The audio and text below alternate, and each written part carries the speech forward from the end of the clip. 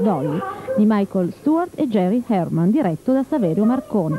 Nel ruolo di Dolly Gallagher-Levi Loretta Goggi che sul parco interpreta una piacente e intraprendente vedova specializzata nell'arte di combinare matrimoni.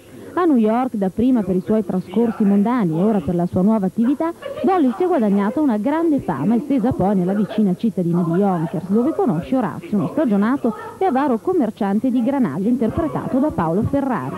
Orazio, che ha ingaggiato Dolly per allontanare suo nipote Ermengarda dal fidanzato Ambrogio, le rivela anche la sua intenzione di fidanzarsi con la modista newyorkese Irene Molli. L'incontro con Orazio è decisivo, Dolly si innamora subito di lui e fino alla fine farà di tutto per conquistarlo, architettando situazioni sentimentali che porteranno alla conquista del cuore e del portafoglio del burbero Orazio. È un personaggio talmente bello, talmente rotondo, talmente pieno, ha dei momenti in cui è cialtrona, cattiva, um, sottile nella sua perfidia, così come è generosa, gioiosa, um, pasticciona nel senso positivo del termine e tenera. Un'attività artistica, quella del musical, che la Goggi ha sposato da quattro anni e che la vedrà ancora protagonista. Intanto, dopo Dolly, in cantiere ci sono tanti progetti. Le proposte sono tantissime, da Victor Victoria a Sunset Boulevard, Angeli con la pistola, alla Vedova Allegra, a Mary Poppins. Accanto a lei un misogino Paolo Ferrari.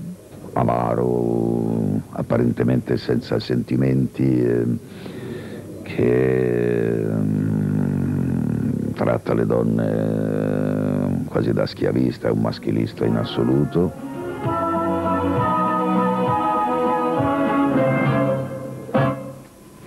Siamo alla pagina... Entri, sei catapultata in casa, magari in momenti poco opportuni, oppure entri in una casa dove non sei amata. In teatro chi viene, esce e spende, ahimè, questo forse è la nota dolente, tanti soldini per venirti a vedere, ci viene con quell'attenzione stupenda che premia chi non sbaglia. Il musical ti dà la possibilità di passare un paio d'ore in un clima diverso e non stupido, cioè non la risata per la risata fine a se stessa, ma io mm, penso che un certo tipo di musica come questa è veramente un, una bella torta con la panna, però fatta da un pasticcere che sa il suo mestiere, insomma. Ecco.